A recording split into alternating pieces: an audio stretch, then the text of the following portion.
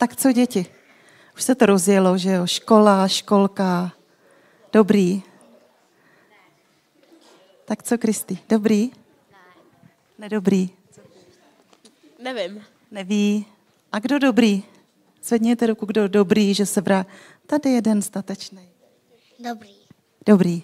To většinou vždycky řeknou děti jenom dobrý. Nebo nic, že jo. Tak já poprosím o obrázek. Vidíte to, děti. Co na tom obrázku vidíte? Strom. A kde roste? V poušti. Znáte nějaké jméno nějaké pouště? Sahara. Sahara. Tohle je Sahara, děti. A uprostřed, skoro uprostřed té Sahary roste strom. Je to možný vůbec? Může strom růst uprostřed Sahary, uprostřed pouště, kde není tráva, nic, voda, nic. Může? Proč nemůže tam strom růst? Kdo to... Může? Proč tam může růst? Protože Ježíš ho tam vysadil. Je to možný? A jestli ho tam vysadil Ježíš, tak se ještě o něco musel postarat, aby ten strom neuschnul. Aby měl vodu.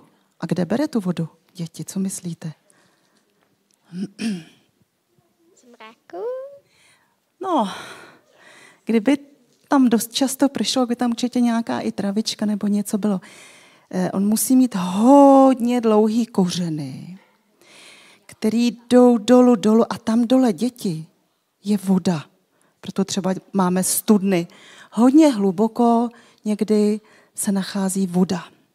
A tenhle strom má asi hodně dlouhé kořeny, protože jinak by uschnul, že jo? jinak by neměl tu vodu. Ale ty jeho kořeny sahají až do hloubky, kde je voda. Pod tou Saharou je voda.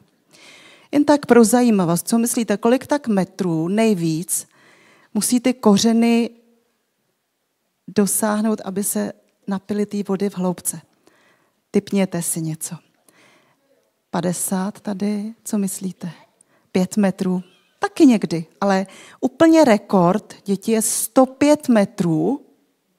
Můžeme si to představit, asi moc ne. Má to olivovník africký, 105 metrů. Takže kdyby ten strom nedosáhnul těma kořenama do té vody, tak co by se s ním stalo? Uschl. A takhle je to děti podobně i s náma. Ta Sahara, to je jako ten svět tady, co žijeme. Ono to někdy tady je tak rozpálený, že se nám tady hodně špatně žije. Myslím teď takový ty ošklivé věci, jako třeba různé války, nemoci, bolest, smutek. A my, kdyby jsme neměli ty kořeny děvčátka, kde, co myslíte, kam je musíme zapustit? Taky do takové vody, do živé vody. Kdo je pro nás ta živá voda? Kdo je pro nás ta živá voda? To určitě víte. Ježíš. Ježíš, ano. Pokud my v tomhle světě nezapustíme ty kořeny do Ježíše, tak taky uschneme. Ne fyzicky, ale tady, duchovně. Ale jak, jak to udělat, aby jsme teda byli v tom Ježíši, aby jsme tam měli ty kořeny? Jak to udělat? Co myslíte, děti? Přemýšlejte, už tolik slovíček tady určitě bude vědět. Jak to udělat, aby jsme jako měli zapuštěný kořeny v Bohu, v Ježíši? Co myslíš? Že ho přijmeme do srdce.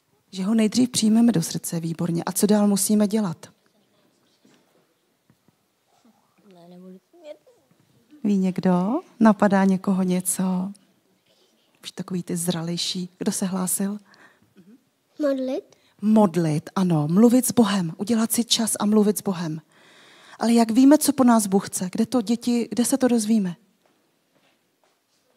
Ano. V jeho slovu, v Bibli. Takže my musíme znát tu Bibli a dělat to, co tam je napsané, modlit se k němu, udělat si na něj čas a dávat ho na které místo v našem životě? Na poslední.